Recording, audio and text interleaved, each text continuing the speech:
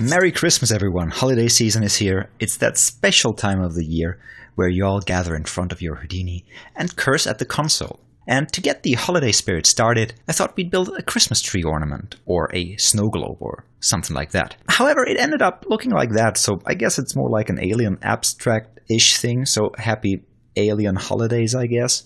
But I will go over how, in principle, build a snow globe and then how it turned into this. This was kind of a happy accident. So what I did was I dropped down a sphere, dove in there, and then set this primitive type to polygonal mesh like this. Increase the rows, maybe 48, and columns by 80, like this. Let's get rid of the grid. And then I clip this. And I want to use this as an emitter for our snow slash particles. So let's drop down a scatter SOP here.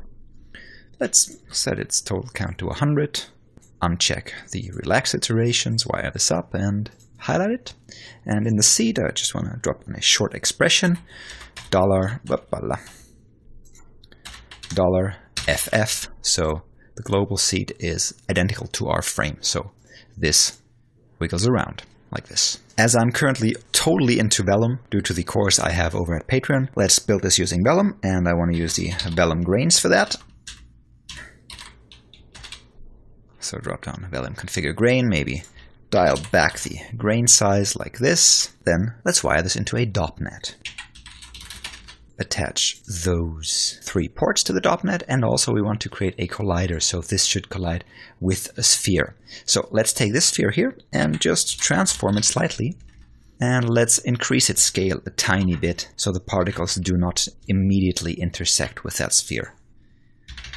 Maybe like that and then wire this in here as a collider. So let's dive inside the DOPNet and we want to have some gravity here. So these particles slash snowflakes get pulled down. Then let's drop down a static object and a merge. And we could either wire this through a static solver or wire this in directly here and drop down a Vellum solver with a Vellum object and a Vellum source. And if you want to know more of what this stuff does or how Vellum works in general, you may want to head over to our Patreon. And why wire this in here. So within the Vellum object, we don't want to initialize our geometry, so let's cut that out and instead paste it in the source here and do the same thing for our initial constraints, cut them out and paste them here in the source. Also, within the static object, I want to link up my third input on my DOPNet, so I'm going to paste this expression and just exchange this index here with the index for our third slot like this. So this, in theory, should give us, well, this. Okay, so let's hide the static object now, uncheck display geometry and hit play again. So yeah, partially okay. So I want this to emit not only on the first frame, but continuously. So in the Vellum source, I will set emission type to continuous, hit play again, and that is working well. All I have to do now for the grains to work properly is increase our substeps to say 5 and let's have 20. Constraint iterations, hit play again. And I've got this really, really heavy, thick and grainy snow falling down here. So what keeps snow from rushing down from the sky is some kind of drag. So let's add a drag force here after the gravity. And let's scale the force by 4 and the torque as well. So the higher these numbers, the more drag in your particles. Let's hit play again. And now it's kind of raining slash snowing down quietly. Let's just slowly start our snow by heading into the scatter sop here and animating our total count here from 0 on the first frame. Let's set a keyframe by alt-clicking in here and then go to frame 48 and set this thing to 100 and keyframe this again. Maybe open up our curve editor by shift clicking in here or going to Windows Animation Editor. And then what I want to do is have this ease in a bit like this. Let's check. So yeah, it slowly starts in and fades in. Now, here is where the interesting stuff developed. What I wanted to do is add a wind force. So just to give this whole thing a bit of a turbulence. And I think I scaled it to something like 4 and had the roughness set to, I think, 3, frequency to 3 by 3 by 3 or something like that, and set the noise to sparse convolution, then hit play.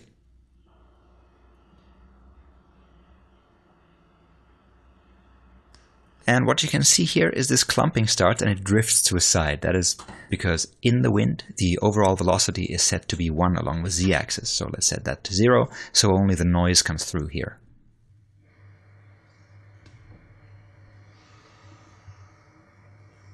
So now we get those weird strands, those root-like structures forming here. That is due to the self-collision behavior of the grains. So they kind of form those clumpy roots here. Think I decreased the grain size quite a bit still. So in the vellum constraints, let's dial back the grain size a bit. And in the scatter, on the second keyframe, let's increase the total count to 200, like this. Head back into our DOPNet and resim this.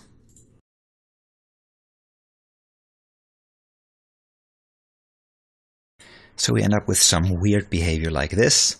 And you can tweak this mainly by dialing in the noise parameters here in the wind force. I quite like this already, so let's add some trails to those particles and save this first. Head up one level, so let's just highlight this and we only want the vellum object 1. And maybe it's a good idea to cache this out into a file cache, so we don't have to resim every time. So let's save that to disk. And after we're done saving, check load from disk. So I now load this cache and can freely scrub without resimming every time. So let's add a trail.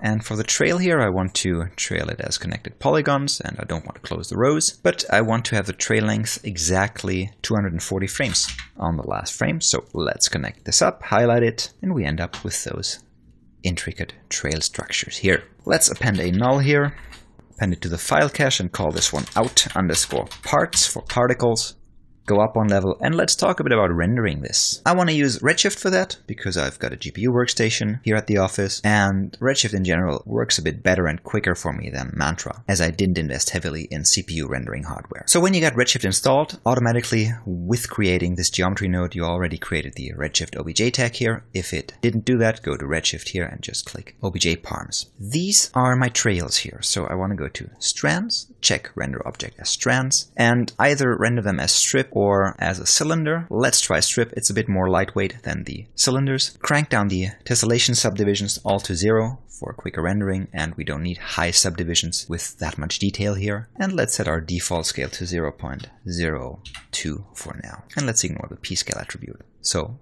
this will drive the width of my strands here, instead of a p-scale attribute that I might have on the geo. Okay, let's create another geosop. And in here, object merge the particles. So I'll select my sphere geometry and the out parts null that we created. So these are the particles.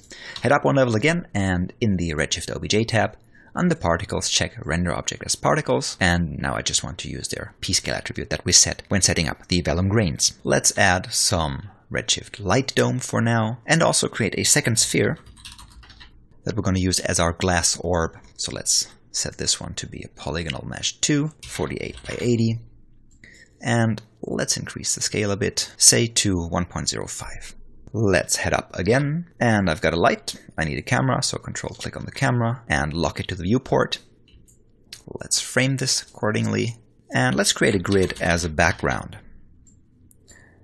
Wire this below our camera, and translate it to say minus 10 and within the grid, set it to be oriented along the xy plane, like this. Maybe let's move it out a bit further to minus 20, and let's scale it by 1.7 along the x-axis and maybe increase the uniform scale a bit. So I just have my background that's pinned to my camera. Next, let's close all these tabs here, pin our current tab, and create two new tabs. You can also create tabs by pressing Ctrl T here. So I want to set the last one to my output here. That's where my Redshift nodes will be as soon as I hit Redshift here. And let's set up my rendering. So within the Redshift tab, what I want to do is within the Optimizations tab, I want to increase the reflection and refraction trace depth to 8 and the combined depth to 16. Also, I want to enable global illumination here, setting both primary and secondary to brute force, and maybe increase the number of GI bounces a tiny bit, like this. In the second tab here, the middle one, I'll switch to my material context, mats. And I'm going to create a Redshift material builder,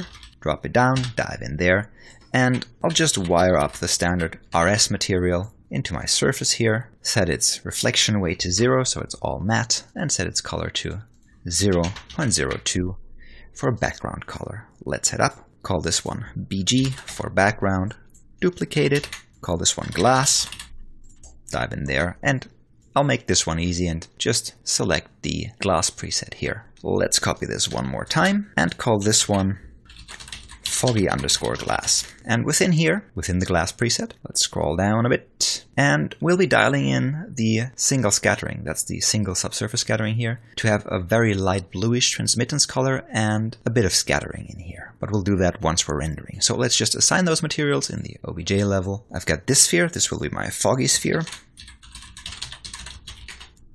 Let's duplicate it one more time just call this one glass, and we'll scale it up a tiny bit too. So we have an outer glass sphere and then the inner foggy sphere, and within those two spheres are our strands and our particles. And by the way, I will need a material for the strands and particles as well. I forgot that, so back into the mat context. Let's just copy the BG material, paste it there, and call it parts underscore strands. Dive in there. And let's just set its color to be a bright white, 0.9 and maybe have a bit of transmittance. So maybe 0.5 and let's set the transmittance color to be all white like this. Let's finally assign those things. So these are my particles. So on the rendering tab, we will assign the parts underscore strands material. This should be my strands. Let's assign the same material here. And of course, by renaming that, I wasted all that file cache that I wrote out. So let's dive in here and within the file cache, let's link this one up again, just by pointing directly to its location on your hard drive. Go up one level, assign the parts and strands material, the foggy glass will be assigned the foggy glass material and the glass material. That's the glass. And finally, the grid is the BG material. Let's save this and click on render view.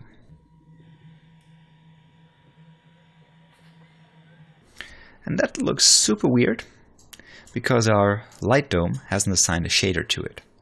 So let's just under shader assign an HDR, for example, our trusty old shady urban. And let's dial in the foggy material first. So under material, let's head into the foggy glass here. And what I want to do, scroll down and under subsurface, dial in transmittance and scatter coefficient. So let's start with the transmittance. Let's set this one to a blue-greenish color, maybe like this. And let's increase the scatter slowly. And maybe also our absorption scale. To say 5, so we get this greenish tint here. Maybe dial back the tint a bit, but also lower the value of the color. So we get this dark green-grayish look. Also let's increase the scatter to something of our liking. And that looks kind of interesting how those strands disappear and reappear when they are close to the surface or away from the surface. Let's work a bit on the lighting here. And within the RS Light Dome, let's rotate this a bit so this bright spot here is not showing up so much. So let's transform it, rotate it along the y-axis, and dial back its intensity. Under Shader, set its intensity to 0.1 or maybe even 2.05 like this. And let's light this with a few area lights. So let's click on the RS light, control click on it to create it at the position we're just looking at. Make sure it's locked to the viewport and then move it up to the sphere so it's just looking down straight onto our sphere like this. And then unlock it again and select our main camera. And this already starts looking interesting. However, this is missing a bit of rim light here. So let's just take a look at what's happening here. On the one hand, let's move this thing closer to our sphere, then increase its size. In the Lights tab, on the area, let's set its shape to disk and increase its size to be 4 by 4 by 4 like this. And also I want to dial back the spread so the background isn't illuminated. Like this. Now this is getting way too bright, of course, so in the shader properties, let's dial back the intensity multiplier too. Maybe something like that. And move this thing a bit behind the sphere, but point it towards it, like this. So we get a nice rim up here. Maybe move it a bit closer. And yes, you might say this is now visible in our rendering, so let's disable the visibility for the camera. In the Lights tab, uncheck Visible here. So we now only see the reflection and the illumination, and maybe the reflection is a bit too harsh for us, and we can dial that back by just dialing back the specular scale here. And if I dial it all to zero, there's no spec happening there at all. Let's copy this two times and build kind of a rim light, a butterfly light on the sides by just transforming this all to zero on the rotation and then just moving it to one side of our sphere like this. Let's copy this, rotate it around 180 degrees, and translate it on the other side of a sphere.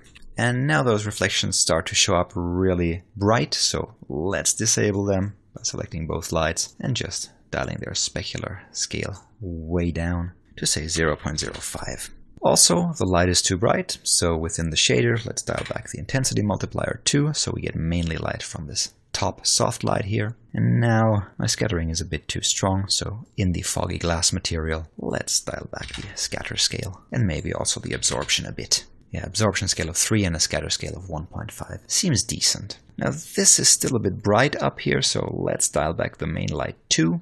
Maybe find a different angle with our camera, lock this to a viewport, and let's connect those lights to our camera too. Just make sure on the transform that you check keep position when parenting, so they stay in place where we move them. However, now they should move in sync with our background and with our camera, so we can try and figure out if we can find another angle that looks a bit more beautiful when we're looking at this orb here, and that looks kind of promising. The last few things I'd like to do will crank up our render times to an absurd level, so they might not be for everyone, but I want to do first in the foggy glass, I want to switch its IOR to something more akin to water, so 1.33. And then in our glass material, let's set this one to be more crystal-like, 1.7. And this will kill your render time, increase the dispersion.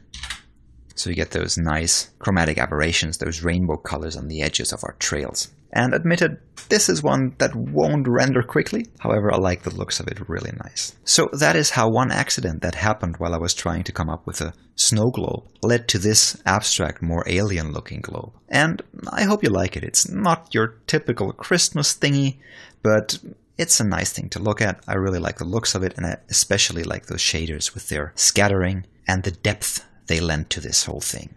I will attach the scene file for this, not only the one that we built, but also the one I used for rendering, which includes an After Effects project that shows what I did in post and compositing. As with any image that goes out there, you should try and run your images through compositing just to do a final grading. Not do much, just some curves, levels, and this will bring your image to another level. It'll give it additional depth. So with that, I wish you a very abstract, very alien, but very beautiful holiday season. A happy new year. May 2019 be just great. Thanks so much for your amazing support. Without you, all this would not be possible. And a special thank you goes to our supporters and Patreon, especially Kyoko Sakane, Important Looking Pirates, Joseph Howerton, Derek A. Johnson, Nick Nick, Chris Hebert, Refik Anadol, Rob Bryant Jr., and Mohammed Al Abri. Thanks so much, guys.